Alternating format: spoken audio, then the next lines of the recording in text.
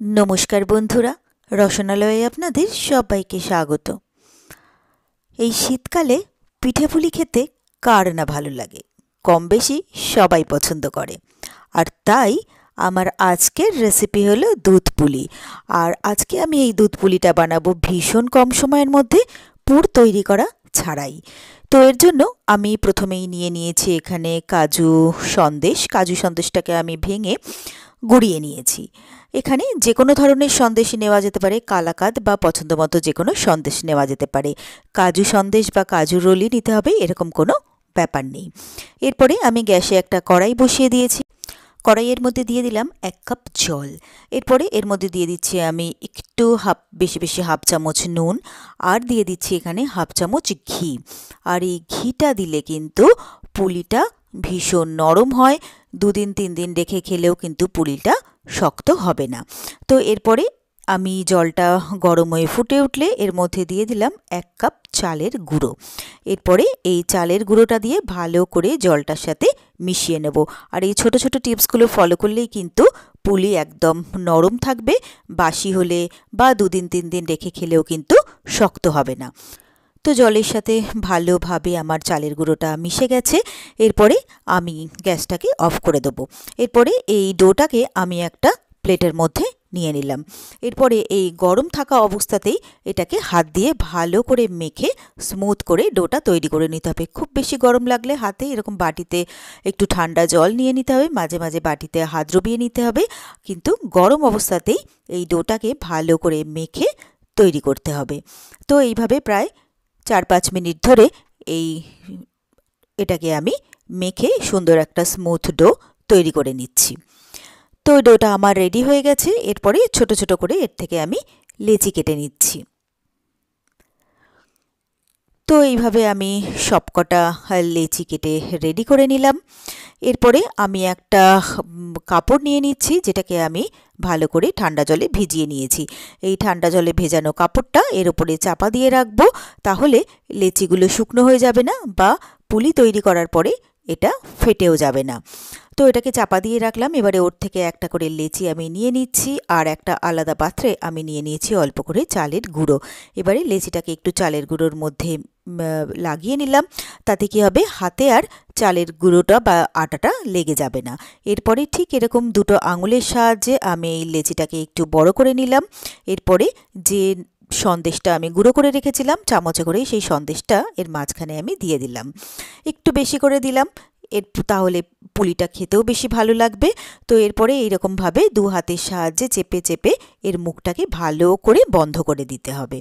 এরপরে একটু একটু করে আমি ধারটাকে মুড়ে দিচ্ছি যাতে পুরটা বাইরে বেরিয়ে না আসে। ভীষণ সহজ পদ্ধতি। যারা নতুন বানাবেন তারাও কিন্তু খুব সহজেই এটা চটপট তৈরি করে ফেলতে পারবেন। একইভাবে আমি আরও একটা তৈরি করে দেখাচ্ছি।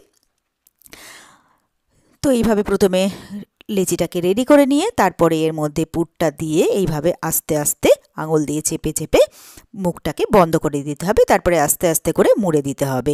তো বিভিন্ন রকম ডিজাইনেরই করা যায়। আমি একদম সিম্পল ডিজাইন করছি যাতে সবাই এটা তৈরি করতে পারে তার জন্য। তো ঠিক এইভাবে আমি সব কটাকে রেডি করে নিয়েছি আর লেচিটা করতে করতেই কিন্তু আমি ভিজে কাপড়টা কিন্তু এই পুলির মধ্যে চাপা দিয়ে রেখেছি যাতে এটা ফেটে না যায় বা শুকনো হয়ে না যায় তার জন্য। তো ওইটাকে আমি ওইভাবে রেডি করে রাখলাম। এবারে আমি গুড়টাকে রেডি করব। ডাইরেক্ট গুড় আমি পুলির মধ্যে দেব না। তার জন্য প্রথমে হাফ কাপ জল আমি একটা সসপ্যানে দিয়ে দিয়েছি। আর এক কাপ পাটালি গুড় আমি জলের মধ্যে দিয়ে দিলাম। জলটা একটু গরম হতে তারপরে, এরপরে ভালো করে একটা চামচ দিয়ে নেড়ে চেড়ে গুড়টাকে গলিয়ে নিলাম। তো গুড়টা ভালোভাবে আমার গলে গেছে। এরপরে আমি এইটাকে ভালো করে প্রায় চার পাঁচ মিনিট ধরে ফুটিয়ে নিচ্ছি। তো ভালো করে আমার পাঁচ ছ মিনিট এটা ফুটে গেছে গুড়টা, এরপরে আমি গ্যাসটা অফ করে গুড়টাকে আমি আলাদা করে রেখে দিচ্ছি। এরপরে গ্যাসে একটা কড়াই বসিয়ে দিয়েছি। কড়াইয়ের মধ্যে আমি হোল মিল্ক নিয়ে নিলাম, প্রায় এক লিটার। এরপরে এখানে আমি তিনটে চারটে এলাচ দিয়ে দিলাম। এরপরে দুধটা একটু গরম হতে আমি হাত দিয়ে দেখে নিলাম। দুধটা যখন একটু গরম হয়েছে, তখন এর মধ্যে আমি দিয়ে দিলাম গুঁড়ো দুধ বা মিল্ক পাউডার। প্রায় থ্রি ফোর্থ কাপ গুঁড়ো দুধ আমি এর মধ্যে দিয়ে দিলাম। এই গুঁড়ো দুধটা যদি এই দুধের মধ্যে দেওয়া যায়, তাহলে দুধটা বেশ ঘনও হয় আর পুলিগুলো কিন্তু খেতে ভীষণই ভালো হবে। তো এটাকেও আমি খুব ভালো করে দুধটাকে ফুটিয়ে নিচ্ছি আর মিল্ক পাউডারটা মিশানোর পরে খুব ভালো করে কিন্তু স্প্যাচুলা দিয়ে আমি মিশিয়ে নিয়েছি। তো দুধটা আমার ফুটে বেশ অনেকটা কমে এসছে। এরপরে দুধটা ঘনও হয়ে গেছে। আমি তখন গ্যাসের ফ্লেমটাকে লো টু মিডিয়ামে করে দিয়ে যে পুলিগুলো আমি রেডি করে রেখেছিলাম, সেই পুলিগুলো আমি এর মধ্যে দিয়ে দিলাম। তারপরে এটাকে আমি চাপা দিয়ে আট থেকে দশ মিনিট এটাকে আমি রান্না হতে দেব। একদম হাই ফ্লেমে যদি পুলিগুলো দেওয়া যায়, তাহলে কিন্তু পুলিগুলো অনেক সময় ফেটে যেতে পারে, সেই জন্য মিডিয়াম টু লো ফ্লেম করে পুলিগুলো দিতে হবে। তো প্রায় দশ মিনিট পরে আমি ঢাকনাটা খুলে নিলাম, হালকা করে নেড়ে চেড়ে আমি দেখে নিচ্ছি পুলিগুলো কিন্তু সুন্দরভাবে আমার দুধের মধ্যে মিশে গেছে এবং দুধের মধ্যে ভালোভাবে এটা সেদ্ধ হয়ে গেছে। তো বেশ ভালোভাবে এটা হয়ে গেছে, এরপরে আমি এইটাকে, গ্যাসটাকে অফ করে দিচ্ছি। অফ করে পাঁচ মিনিট আমি একটু ঠান্ডা হতে দেব। তারপরে যে গুড়টা আমি রেডি করেছিলাম, সেই গুড়টা প্রথমে এর মধ্যে অর্ধেকটা দিয়ে দিচ্ছি। এইভাবে যদি গুড় দেওয়া যায়, তাহলে অনেক সময় দুধের মধ্যে গুড় দিলে দুধটা চট করে কেটে যায়। সেটা কিন্তু এটাতে হবে না।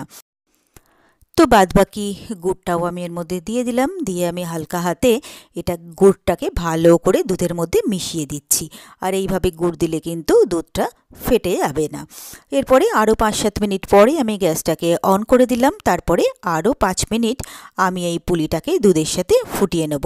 তাহলেই কিন্তু সুন্দরভাবে আমার দুধ পুলি তৈরি হয়ে যাবে। খুব কম সময়ের মধ্যে আর খুবই সহজে। তো এরপরে আমি গ্যাসটাকে অফ করে দিলাম। দুধ পুলি আমার একদম রেডি হয়ে গেছে। এরপরে একটা পুলি আমি প্লেটের মধ্যে তুলে নিয়েছি। তো স্পুন দিয়ে কেটে দেখছি ভীষণই সফট হয়েছে আর খেতে কিন্তু ভীষণই ভালো হয়। এরপরে ঠান্ডা হয়ে গেলে একটা সার্ভিং বলে আমি দুধ পুলি তুলে নিয়েছি সার্ভ করার জন্য। এরপরে যে সন্দেশটা আমি গুঁড়ো করে রেখেছিলাম, সেই সন্দেশ আমার কিছুটা ছিল। তো সেই সন্দেশ গুঁড়ো আমি এর ওপরে দিয়ে দিচ্ছি। একটু দেখতেও সুন্দর লাগবে আর খেতেও কিন্তু ভালো লাগবে। এরপরে এটাকে সুন্দর করে সার্ভ করে দিতে হবে। তো ব্যাস, তৈরি হয়ে গেল আমার খুব সহজে আর খুবই চটপট, দারুণ, টেস্টি দুধ পুলি। আর আমার এই রেসিপিটা যদি আপনাদের ভালো লেগে থাকে, তাহলে আপনারাও বাড়িতে ঠিক এইভাবে একবার ট্রাই করে দেখবেন। আশা করি আপনাদেরও ভীষণ ভীষণ ভালো লাগবে। আর আমার রেসিপিগুলো যদি আপনাদের ভালো লেগে থাকে, তাহলে প্লিজ আমার ভিডিওগুলোকে লাইক ও কমেন্টস করবেন। আর যদি পারেন তো শেয়ার করবেন। আর আমার চ্যানেলটা যদি নতুন চেক করতে থাকেন, তাহলে প্লিজ আমার চ্যানেলটাকে সাবস্ক্রাইব করবেন।